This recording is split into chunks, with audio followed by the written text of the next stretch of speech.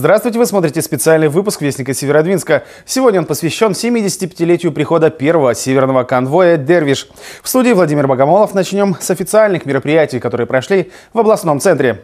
В Поморье прибыли дипломатические миссии 9 стран, 35 участников союзных конвоев, в том числе из Великобритании. Далее обо всем по порядку. Историческая справка. 31 августа 1941 года в Архангельск прибыл первый союзный конвой «Дервиш». Караван из шести судов под флагами Великобритании и Голландии доставил в порт важнейшие стратегические грузы – от глубинных бомб до форменных ботинок. Союзные конвои приходили в Молотовск. Наш порт отличался от Архангельского своей глубоководностью. За четыре месяца соорудили причальную линию, нефтебазу, бункеры для хранения угля, железнодорожные пути. Первое судно Молотовский порт принял 26 ноября 1941 года. Пришел британский танкер «Сан Амброзио». С 41 по 44 годы в северные порты Советского Союза был проведен 41 морской караван из 800 транспортных судов. По программе Ленд-Лиза только союзные конвои доставили в СССР свыше 2 миллионов тонн крайне важных для страны грузов. В их числе 5 тысяч танков, 7 тысяч самолетов, тысячи автомобилей, десятки тысяч тонн боеприпасов, снаряжения и продовольствия. Самой многочисленной делегацией стала группа из Великобритании. Ее возглавила принцесса Анна. В среду она отдала дань памяти соотечественникам, которые похоронены на британском воинском захоронении Вологодского кладбища. Затем ее королевское высочество отправилось на площадь мира в Архангельске. Здесь прошел торжественный митинг. Об этом в материале Анны Бибиковой.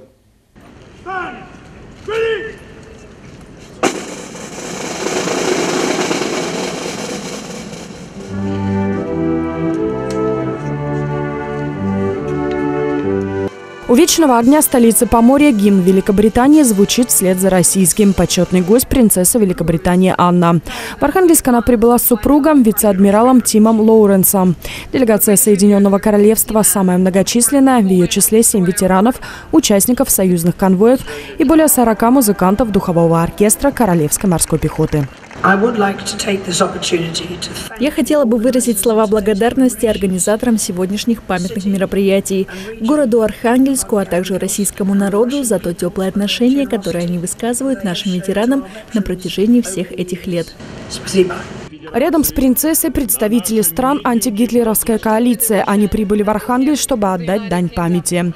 Здесь послы Канады, Австралии, Польши, Исландии, Новой Зеландии, США. Всего 9 стран. Союзнические отношения, начало которым было заложено в тот момент, продолжаются и сегодня. В то время они были нацелены на борьбу с нацизмом. Союзники отдавали свои жизни в борьбе с тиранией, которая распространилась по всему миру, от Тихого океана на Средний Восток и в Азию. После традиционной минуты молчания принцесса возложила цветы к монументу северным конвоям. Северному морскому музею принцесса передала государственную награду Великобритании «Арктическая звезда». Она вручается за службу в северных конвоях. Напомним, это третий визит представителей королевской семьи Великобритании на русский север.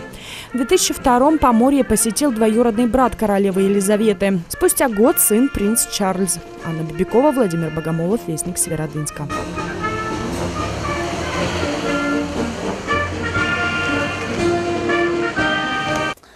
Архангельск посетил и председатель Федерального собрания Сергей Нарышкин. Он осмотрел архангельские гостиные дворы и затопленный 71 год назад американский транспорт, который входил в состав одного из последних союзных конвоев.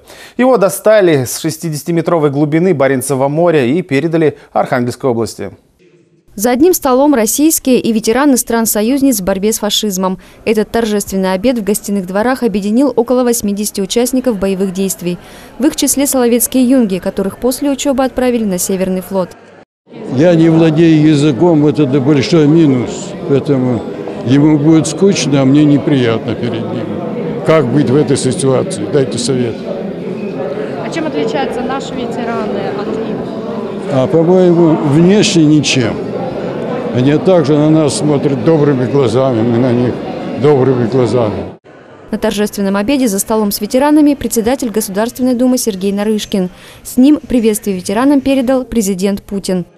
Только действуя сообща, мы сможем преодолеть любые трудности, обеспечить мир и безопасность на нашей планете.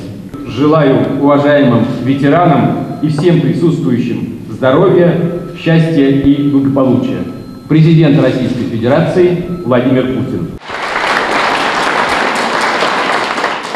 После делегация отправилась в Северный морской музей. Моряки Северного флота подготовили подарок жителям Архангельска. Это дорожный каток и паровая лебедка. Их подняли с 60-метровой глубины. Судно «Томас Дональдсон» затонуло в 1945-м. Оно следовало в Архангельск из Шотландии в составе одного из последних союзных конвоев. 21 марта должен был прийти причалом Мурманска, чтобы разгружать технику. На нем перевозили танки «Шерман», зенитные орудия М-20, паровые машины, вот, которые за спиной. Но самое главное, перевозили паровозы, э, вот эти вот катки.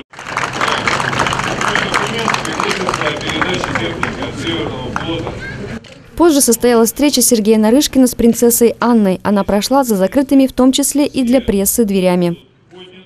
На площади у Архангельского театра драмы музыканты из России и Великобритании играли марши. Музыка звучала в честь моряков. «Прощание славянки» исполнили Адмиралтейский оркестр Ленинградской военно-морской базы, гарнизонный оркестр Беломорской военно-морской базы, духовой оркестр Главного управления МЧС России по Архангельской области и духовой оркестр УФСИН России. За действом наблюдала и ее королевское высочество, принцесса Анна.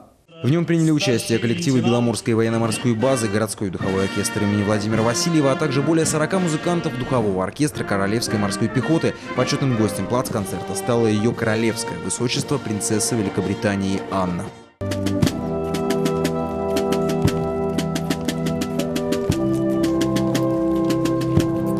Завтра духовые оркестры соберутся на площади Мира и примут участие в торжественном митинге, а вечером в 17 часов плац-концерт пройдет на Красной пристани. Королевский духовой оркестр из Великобритании начнет выступление с 18 часов. Совместную картину написали российские, британские и американские моряки, участники арктических конвоев.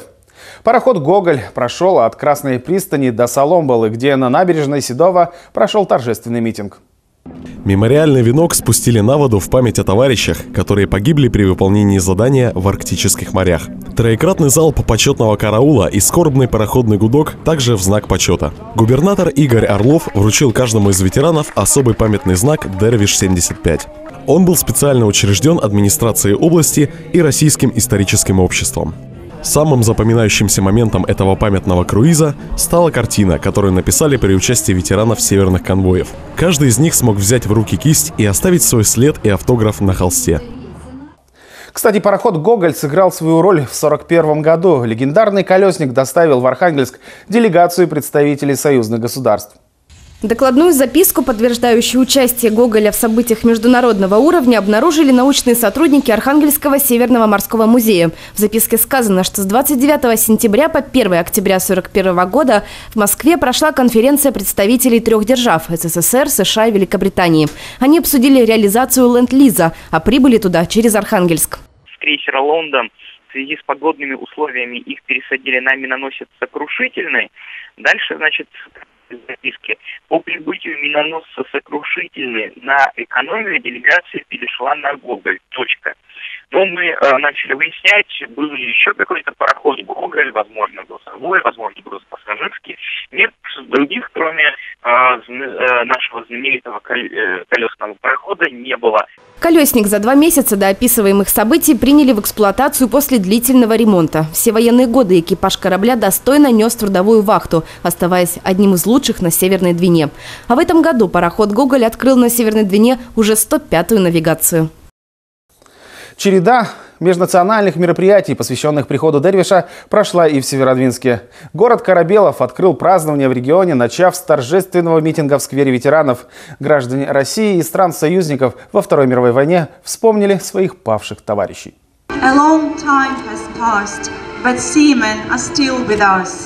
Иностранная речь слышалась в любой части Северодвинска. У Вечного огня встретились участники северных конвоев стран антигитлеровской коалиции. Ветераны из России, США и Великобритании возложили цветы к памятному знаку. Да, это очень хорошо, это замечательно, что Россия все еще выражает признание тому, что произошло 75 лет назад. В это трудно поверить, такое бы не случилось где-нибудь еще в мире. Я уже был здесь, это мой третий визит на такую церемонию. Тут очень мило, очень хорошо. С иностранцами сегодня работали волонтеры. Обязательное условие при их отборе – знание английского языка. Все-таки эм, такое значительное событие для города, для нашей области, как в принципе и для всей России, я думаю. Для всего мира даже. И даже для, да, для всего мира, можно сказать. Поэтому это большая честь все-таки поучаствовать в таком событии. Ну и, наверное, стоит еще добавить, что э, нам говорили, что это мероприятие, возможно, э, такое крупное, э, одно из последних, потому что, к сожалению, ветераны, они все уже достаточно в большом возрасте, и поэтому, возможно, до ну, на следующий юбилей прихода союзнического конвоя уже не сможет приехать такое большое количество ветеранов. Краеведческий музей встретил иностранных гостей по русским традициям – чаепитием в Северной избе. Thank you very much. Hoş bulduk. Всего в составе иностранной делегации в Северодвинск приехало 23 ветерана, из которых 9 – участники полярных конвоев, двое из США и 7 из Великобритании. Среди них шотландец Дэвид Браунли Крейг. Первый раз он попал в тогда еще Молотовск в 43 году в качестве члена экипажа одного из союзных конвоев. А сегодня Дэвид узнал себя на фотографии в музее. В 1943 году мы были здесь с февраля до конца ноября и ждали, когда за нами вернется следующий конвой. Нас было только только 8 человек в Молотовске. Нас даже бомбили. При участии официальных лиц США, Великобритании, Франции и Польши Михаил Гмырин вручил руководству музея постановление Президиума Межгосударственного союза городов-героев о присвоении Северодвинску звания города трудовой доблести и славы. Постоянно хранилось в нашем музее. Спасибо, Михаил. Михаил Брюхов, Мария Тимофеева, Алена Губаева, Александр Дятлев, Вестник Северодвинска.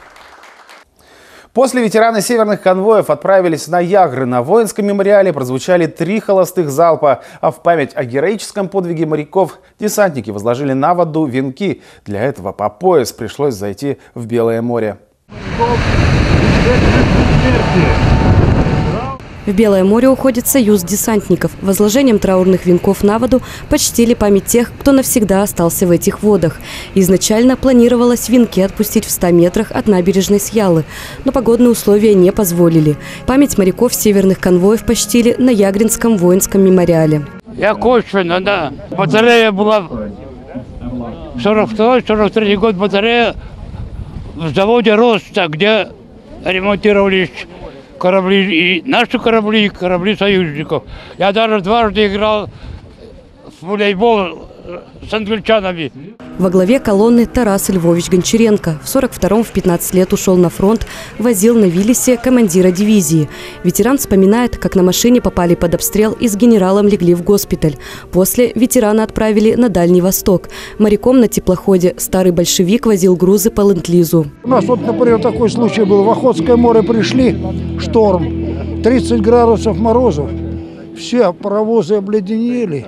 И вот вся команда, все, буквально все, все долбали этот лед, и, э, кто чем, кто кувалдой, кто ломиком, там сказать, вот, потому что иначе судно потонет. Цветы возложили к памятнику «Скорбящая мать». После колонна прошла к скорбному камню памяти погибших подводников атомной подлодки «Курск». После прозвучали три холостых залпа. Евгения Карельна, Владимир Богомолов, Вестник Северодвинска. Ветераны северных конвоев поделились своими воспоминаниями с будущими офицерами. Учащиеся морской кадетской школы ждали этой встречи целый год. Приветствовали гостей праздничным построением.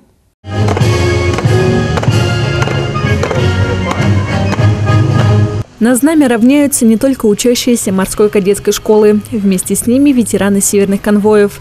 Юрий Буди в Северодвинске был уже несколько раз, но самые запоминающиеся в годы войны. Так, в 44-м на пароходе «Диксон» он разгружал в порту Молотовска кофе и какао. Ветеран рассказывает, рад увидеться с иностранными друзьями в такой праздник.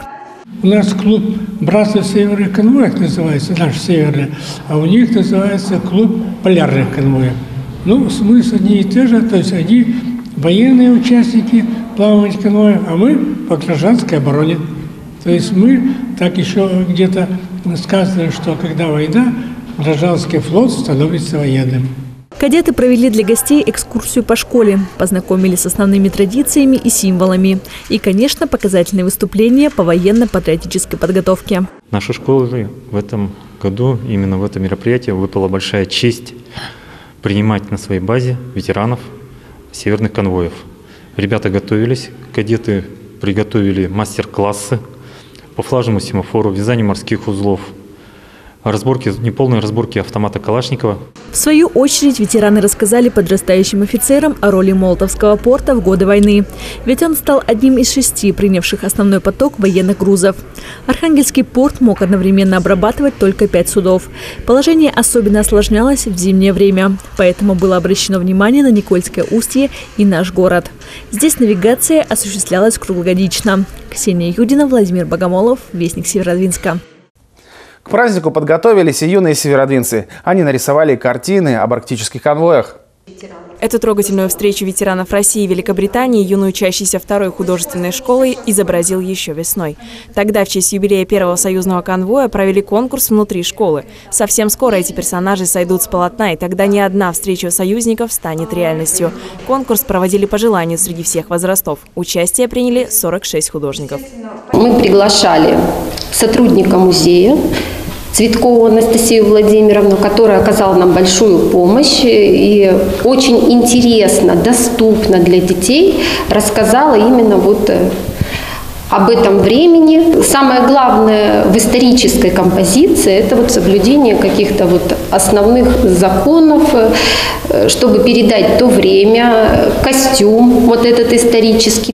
Выставку составили около 20 работ. Почти все их авторы – девочки. Они с особой ответственностью в абсолютно разных техниках изобразили и корабли, и работу порта. Есть и знакомство с иностранным моряком и эсминец «Гремящий», а также, как назвал картину автор, «Тяжелое время глазами медведя». Первый день празднования 70-летия прихода Дервиша завершился акцией «Свеча памяти». Так горожане выразили свою благодарность поколению, на чью долю выпали роковые сороковые годы. Десять вечера, пронизывающий ветер и леденящий дождь. Несмотря на погоду, почтить память погибших в годы войны пришли около полусотни северодвинцев.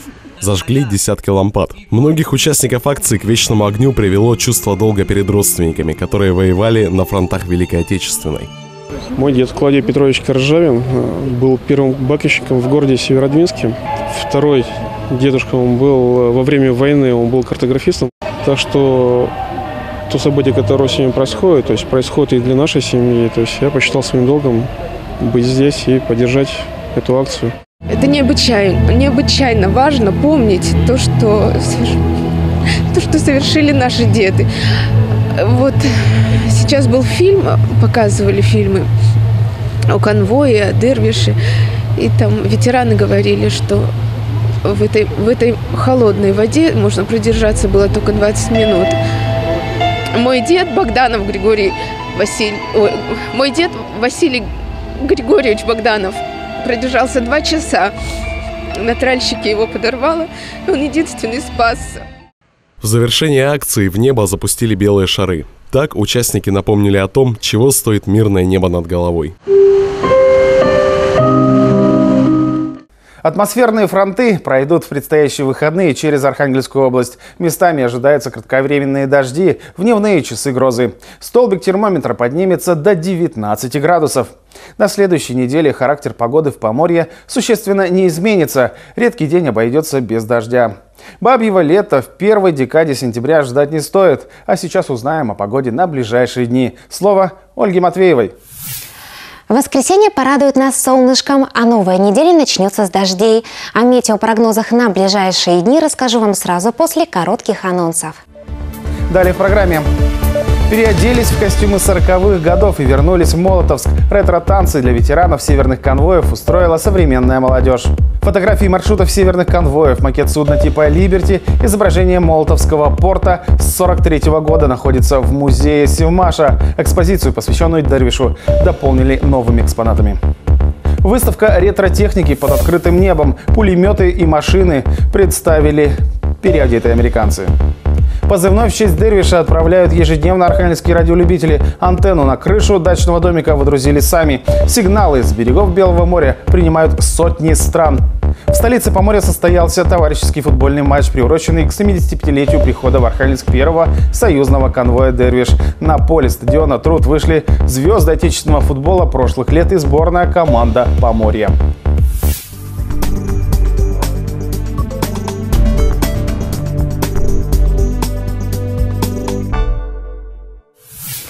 Метеопрогнозах расскажет вам Небесная канцелярия. И вас приветствует наш спонсор, городской сайт GO29.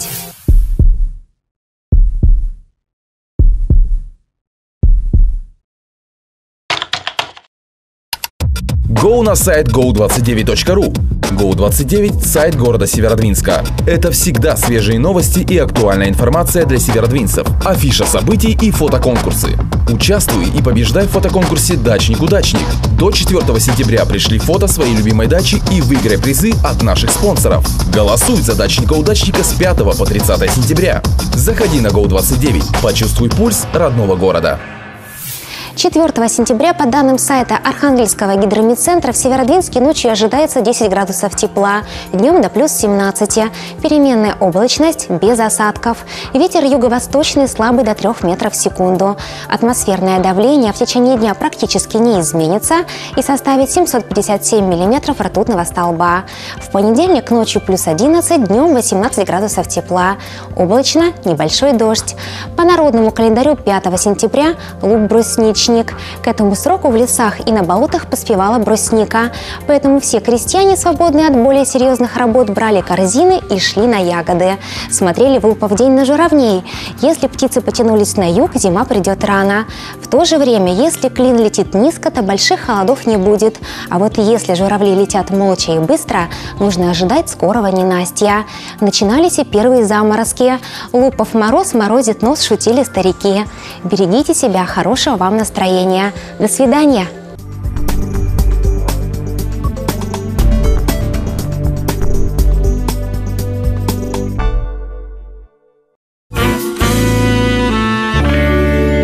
Продажа карликовых и суперкарликовых саженцев от Вологодского питомника «Майский». С 6 по 10 сентября. Северодвинск, улица Южная, дом 167. ТК «Рынок на вертолетке».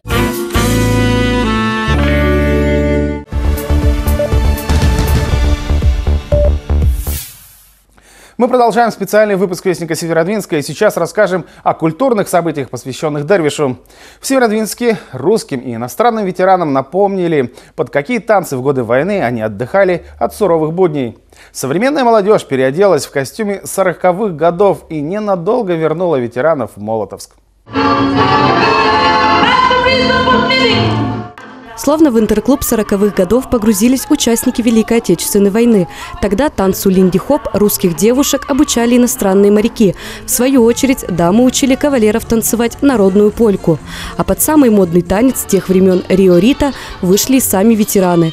Танец пришел к нам в 30-е годы во время войны в Испании.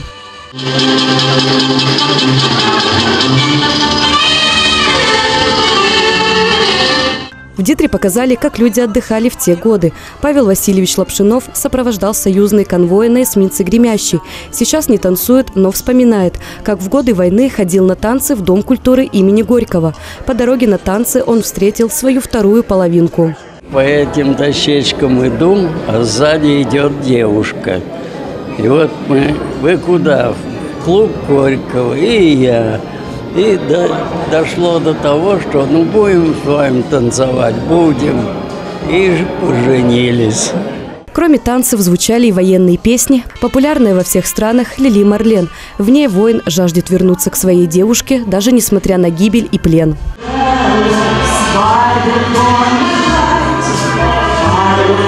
Ветеран из Шотландии вспоминает, как в годы войны три месяца жил в Молотовске. Город был очень маленький, и все дороги были деревянные. Бревна были положены рядом друг с другом. И так как весь город был деревянный, было запрещено курить. Были отведены специальные места для курения. Была большая опасность пожара. Когда приехали к нам ветераны, в том числе которые участвовали в Дервише и в других конвоях, воссоздать для них атмосферу их молодости, когда помимо конвоев, когда помимо тех страшных событий, которые проходили во время Второй мировой войны, воссоздать чуть-чуть, частичку счастья для них. Завершились танцы под символ победы песню «Катюша». Фотографии маршрутов северных конвоев, макет судна типа «Либерти», изображение Молотовского порта с 43 -го года. Все это находится в музее Севмаша. Экспозицию, посвященную Дервишу, дополнили новыми экспонатами в канун 75-летия со дня прихода в Архангельск первого союзного конвоя. В инглиз в первую очередь переводится как «дать взаймы». То есть, когда вот началась Великая Отечественная война, мы стали получать грузы полным дизу от союзников наших. От союзников получали технику, продовольствие и лекарства. За годы войны Молотовский порт принял 173 судна, Архангельск – 109. В музее Севмаша есть макет порта 1943 года. Здесь нефтяная база, склад авиационного топлива, 4 нефтебака. Длина причальной линии 900 метров. Здесь стояло по 5 судов. На заводе 402 их ремонтировали старики, женщины и подростки. Первый конвой пришел в Молотовск в ноябре. Порт находился между между нынешним Севмашем и Беломорской военно-морской базой. В последующем здесь будет построен уже цех номер 42, а, что здесь находилось в годы Великой Отечественной войны, я до сих пор, честно говоря, теряюсь в догадках. Э, порт делался по немецкой аэрофотосъемке, то есть он абсолютно точный. И вот у немцев в аэрофотосъемке указано, что, возможно, здесь находилось подземное нефтехранилище. Презентовали сегодня и копию судна типа «Либерти». На них доставлялись грузы в Архангельск и Молотовск. Впервые в музее появилась оригинальная форма американского матроса. Павел Васильевич Лапшинов в Великую Отечественную служил на эсминце «Гремящий». Он сопровождал союзные конвои. Ветеран вспоминает, как в 43-м конвоировали судно «Мария Роскова». Оно шло на новую землю с семьями военнослужащих, около 200 человек и продовольствием. Оторвало рулевое управление, транспорт спасали пять суток со слезами женщины, дети. Говорим, что же вы плачете-то? Все хорошо. Они говорят, мы от радости плачем. Нам, нам думали не спасти. А эта фотовыставка посвящена маршрутам арктических конвоев. Здесь судно типа «Либерти» совершает переход через Баренцево море. Изображена трагическая судьба конвоя PQ-18, а это фотография британского авианосца «Аргус». Он пришел в Архангельск 31 августа 1941 года. Он находился в проводке конвоев, пришло сюда 6 судов. Вот знаменитый конвой «Дервиш», он состоял именно из 6 транспортных судов. А авианосец был в их, а, скажем так, охранении. А, шесть судов данных доставили нам истребители «Хайрикен». Ну, вот, они нам очень сильно помогли на фронте, а с самого авианосца дополнительно было отправлено к нам сюда авиакрыло. После экскурсии гостям показали фильм о маршрутам северных конвоев. После у причала 42-го цеха на воду спустили венок в память о героях, которые стремились к этой набережной 75 лет назад. Честь наших моряков. Которые покоятся. Евгения Карельна, Семен Семигулин, Вестник Северодвинска. На Яграх у воинского мемориала также работали экспозиции по истории разных стран и выставка ретро-техники. Там моей коллеге Ксении Юдиной удалось пообщаться даже с американскими моряками. Эта заморская техника обращает на себя внимание всех гостей праздника. Модель Willys MB 42 года до сих пор на ходу. Автомобиль американской комплектации имеет и свою изюминку – пулемет Браунинг М2, в народе «двоечка». Теперь его могут оценить и северодвинцы. Петербургская пара реставраторов привезла ретро-технику специально к юбилею «Дервиш». Вернувшись после службы в Германии в 1982 году, вот, я как-то обратил внимание на вот Виллисы, поскольку с детства занимался техникой, то вот появилась мечта вот иметь такую машину. Ну, в советские времена это было довольно-таки сложно. От этой машины пошло слово джип, и, в общем-то, все джипы, то есть машины повышенной проходимости. Как говорится, что лучше ничего не придумано, как вот после того, как вот создана эта машина. И про моду также могу сказать, что мода 30-х, 40-х самая элегантная, самая красивая мода. И, наверное, действительно лучше ничего не придумано. И сейчас можно даже в современной одежде найти все вот, всякие там кусочки какие-то с 40-х годов, из 30-х. Пройдя через сквер ветеранов, можно пообщаться даже с американцами, хоть это и переодетые реставраторы. Представлены экспозиции по истории войсковых соединений Канады, Великобритании и Франции. Можно даже потрогать коллекционные предметы, переданные по ленд-лизу. Это американская оригинальная форма, не парадная, Navy, морская армия США. Ну, соответственно, натуральная шерсть, юбка тоже шерстяная по стандартам. Шелковый галстук и хлопчатобумажная рубашка. Именно вот с таким вот отложным широким воротником. Пилотка по уставу также была еще и панамка. Мы таким образом изучаем историю, и у нас не только как бы американские есть комплекты, вот. и нам это интересно. Экспресс-экскурсии провели сотрудники городского музея. На одной из площадок макет Молтовского порта. Здесь целая очередь, и у каждого северодвинца вопросы. Мы рассказываем, и мы отвечаем на все, очень подробно отвечаем на все вопросы наших горожан о том, как же работал наш порт, кто там работал, какие корабли к нам приходили, какие грузы нам привозили по ленд-лизу. А, сами для себя открываем какие-то новые страницы и своими новыми изысканиями мы делимся. И поэтому у нас там очень живое общение. А вот выставку «Дервиш. Пункт назначения Молотовск» помогали составлять и сами северодвинцы. Татьяна Петрова предоставила научным сотрудникам музея фотографии из личного архива. Здесь ее семья, мама, папа и сестры. Татьяна папу Александра Чернухина вспоминает по морской форме. 16 лет папа проработал в порту экономистом. Э, всегда был такой красивый, представительный. Э, мы его уважали, ценили. Э, в общем, было приятно, что он какую-то свою частицу жизни посвятил северным конвоям. Самые юные организаторы мероприятия представили горожанам свое видение Дервиша. Юные художники сделали выставку «Арктические конвои». Ксения Юдина, Семен Семигулин, Вестник Северодвинска. Позывной в честь Дервиша отправляли ежедневно архангельские радиолюбители. Антенну на крышу дачного домика водрузили сами. И сегодня сигналы с берегов Белого моря принимают сотни стран. Да, Леонид, здравствуйте, добрый день, спасибо за 5-9 около Львова. Принимаю рапорт 5-9, пятерка девятка. Специальный позывной отправляет радиолюбителей из Архангельска. Область готовится отметить 75-летие прихода первого союзного конвоя «Дервиш». По этому случаю с территории региона отправлено уже более 5000 радиосигналов. Их принимают во всем мире. Есть еще международная практика, когда радиолюбители мира посвящают э, свою работу тем или иным национальным памятным или, или юбилейным каким-то датам. Для этого в соответствующих органах получается право работы специальным юбилейным позывным. Мы получили э, право работать в эфире специальным позывным э, РД-75ПК «Россия Дервиш» 75 лет. Архангельский пенсионер Иван Мазур – радиолюбитель со стажем. Крайне увлечен этим занятием. В эфир он выходит с 1900 1971 года. Его радиорубка на дачном участке.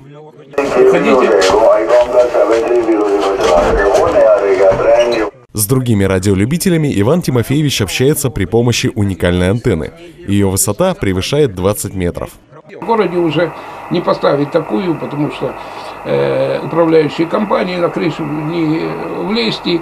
Э, вот, так что тут э, соседи радуются, потому что, э, что у меня такая антенна, потому что все молнии, все попадает в нее, уходит в землю. Друзья у Ивана Тимофеевича во многих странах мира. Его сигналы принимают в США, Швейцарии, Японии, Израиле, Сербии. Всего 330 стран. Сегодня он поведал миру о грядущем 75-летии прихода первого союзного конвоя «Дервиш». Радио Дима 75 Павел Щука, а позывной посвящен 75-летию прихода первого конвоя союзников в Архангельск QRZ.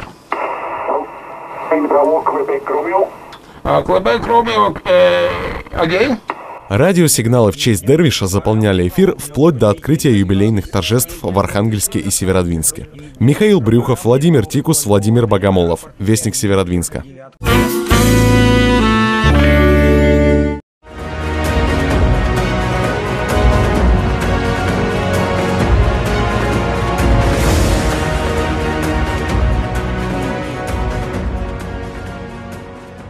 Уважаемые товарищи, разрешите от себя лично, а также от имени Архангельского областного комитета КПРФ сердечно поздравить вас с 75-летней датой Дервиша. Нужно отметить, что совершенно несправедливо зачастую упоминают города, связанные с конвоями в начале Великой Отечественной войны, с такими городами, как Архангельск, Мурманск и забывают Молотовск. Именно в Молотовске проходили ремонт те суда, которые были потрепаны в Баренцевом, в Белых морях. Именно там корабелы и судостроители ковали оборонную мощь нашего военно-морского гражданского флота. И поэтому сегодняшнее поколение северодвинцев, как и жители того времени Молотска, имеет полное право гордиться прямым участием военных в гражданских операциях, которые производились под именем Дервиш и способствовали победе советского народа в Великой Отечественной войне над фашистской Германией. С праздником еще раз, уважаемые товарищи!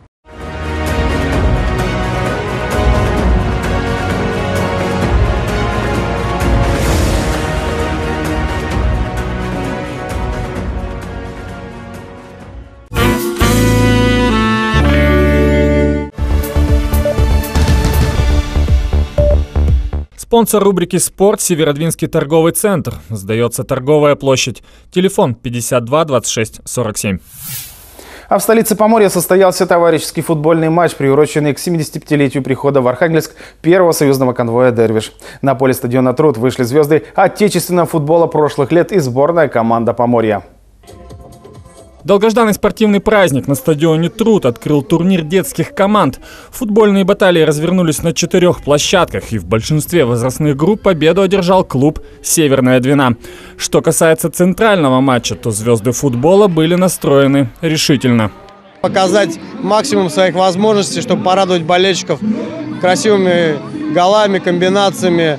Ну и будем надеяться, что команда из Архангельска тоже будет достойно себя показывать, стараться. Конечно, они уступают нам по-любому в классе, но я надеюсь, что э, хотя бы футбол они умеют играть, это уже хорошо. Для города Архангельска футбол всегда важное событие.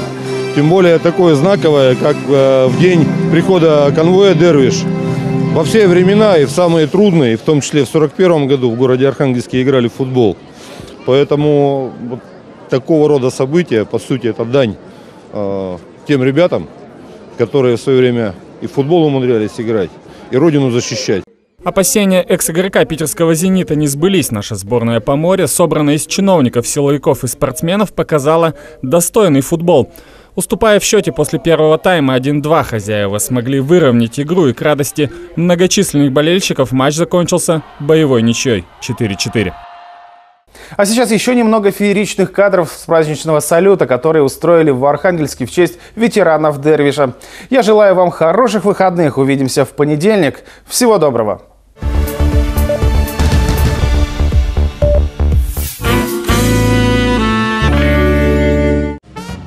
5 по 14 сентября во Дворце молодежи «Строитель» проспект Ленина, 47 пройдет белорусская ярмарка. Большой выбор мясных и колбасных изделий, шпик, сало, рулеты из кролика, индейки и утки, сыры и сырокопченые изделия, широкий ассортимент кондитерской продукции.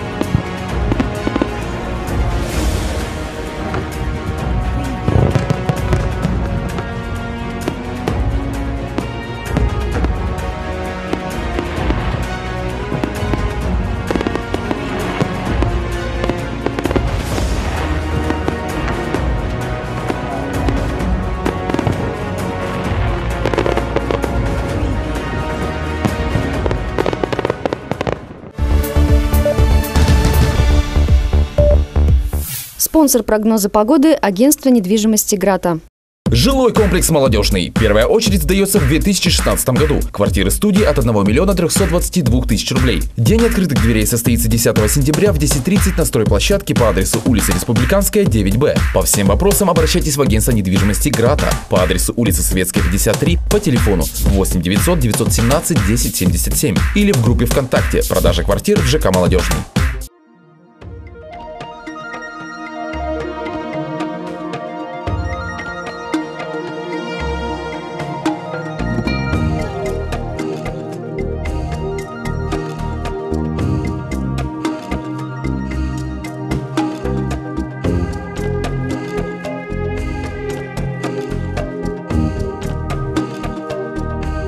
В воскресенье 4 сентября по данным сайта Архангельского гидромедцентра в Северодвинске ожидается ветер юго-восточный слабый 1 метр в секунду. Атмосферное давление в течение дня не изменится и составит 756 миллиметров ртутного столба. Переменная облачность без осадков. Температура воздуха ночью плюс 10, днем 17 градусов со знаком плюс.